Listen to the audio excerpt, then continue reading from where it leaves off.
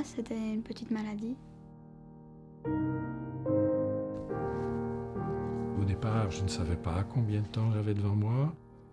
Pour être dans une relation d'aide, il est important de, de pouvoir être à l'écoute. C'est une pratique dans laquelle on est à l'abri des futilités. On est toujours au cœur de la vie des gens. Se montrer fort, même si les moments sont très vite très durs. Quand on nous annonce qu'on a un cancer, euh, première chose à laquelle on pense, c'est qu'on va mourir.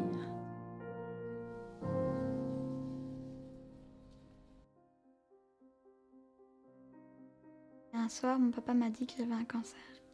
J'étais triste parce que je ne savais pas que c'était aussi, c'était aussi grand que ça. Parce que pour moi, un cancer, c'est plus qu'une maladie. J'ai eu peur, j'ai eu vraiment très peur.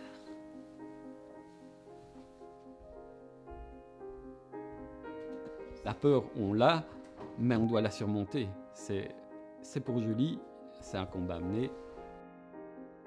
On craque parfois, et puis on, on dit allez, on avance parce que sinon, on s'écroule tous.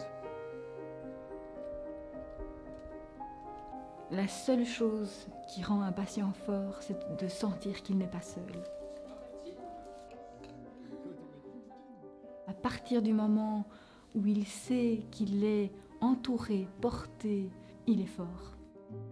C'est vraiment ceux qui, qui me donnaient la force de continuer, mes parents aussi. Je me disais, il faut que je continue, pour eux et pour ma famille, on va dire. Il faut continuer sans baisser les bras.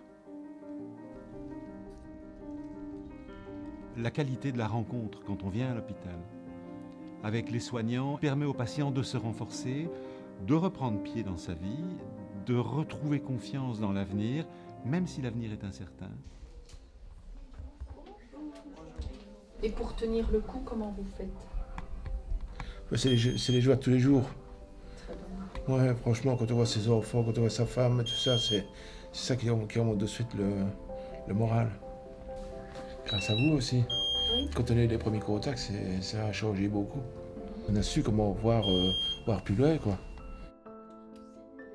On se sent quelque part euh, bon, suivi, soutenu, euh, écouté. Et donc euh, ça, ça rassure. On n'est on pas euh, juste un patient.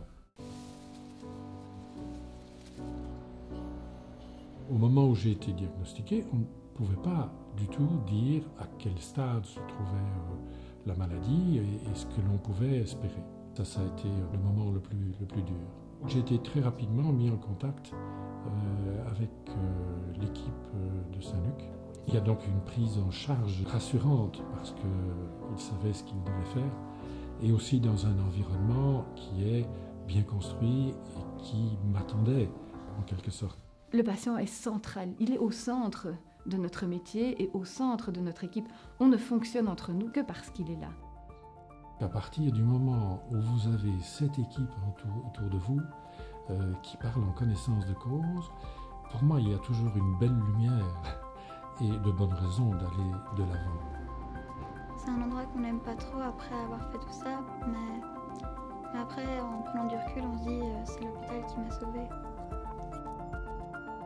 Ce qu'on a comme preuve aujourd'hui, en Belgique, c'est que l'existence d'une prise en charge pluridisciplinaire, par exemple dans le cancer du sein, améliore la survie des patientes. Donc on guérit plus de gens quand on travaille véritablement en pluridisciplinarité.